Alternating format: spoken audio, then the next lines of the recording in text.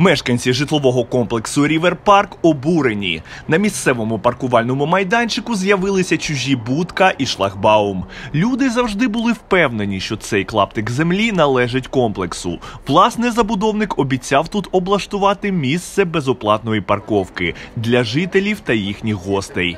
Так і було до грудня минулого року. Потім на в'їзді встановили шлагбаум і вахтерську будку. Тепер із 18-ї години шлагбаум зачиняють і за паркування на ніч вимагають плату. С нас беруть деньги.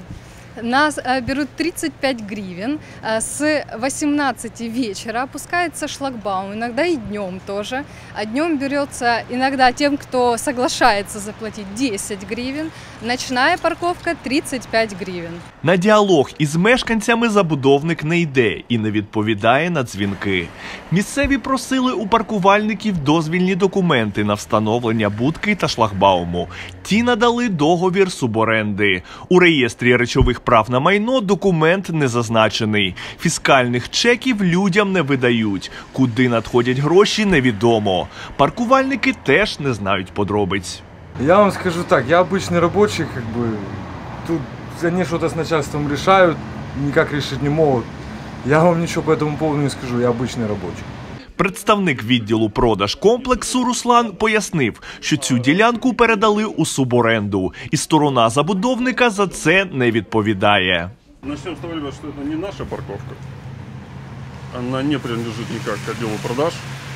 Это территория города. Там есть объявление, что она передана в аренду в муниципальную собственность.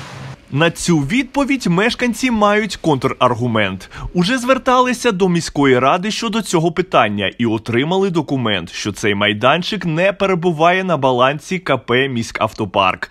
Місцеві вдавалися до різних методів боротьби, навіть ламали шлагбаум. Але на тому ж місці встановлювали новий. Викликали правоохоронців. Втім, поліцейські пропонували звернутися до соборного райвідділу. Також розповідають про випадок із зірваними зборами мешканців щодо цієї проблеми. Когда мы написали в общий чат жильцов Ривер Парк о том, что у нас собрание на 21.00, и еще когда люди не все вышли, в 20 часов 53 минуты тут приезжает сначала два э, наряда э, нацполиции приехала, дальше было интереснее, их в итоге было 6 нарядов, и еще были представители спецподразделения ТОР в Балаклавах. Мы насчитали 14 представителей правоохранительных органов, 6 из которых были в Балаклавах.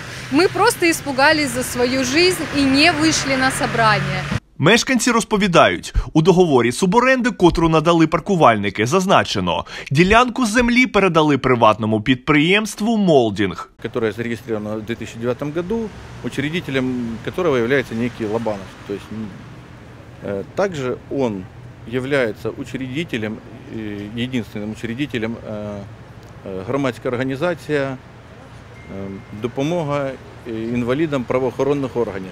Из чего я как бы сделал вывод, что это ну, в данном случае имеет место э, как это сказать, крышевание со стороны органов внутренних дел, милиции, в частности соборного райотдела. Потому что когда жители собираются э, ну, просто высказать свои мысли, э, грубо говоря, возле этой будки незаконной, приезжает около там 5-6 нарядов полиции одновременно.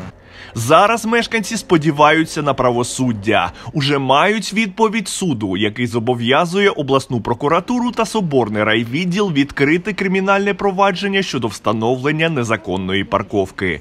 Наразі триває розгляд справи. Дев'ятий канал буде уважно спостерігати за подальшим перебігом подій.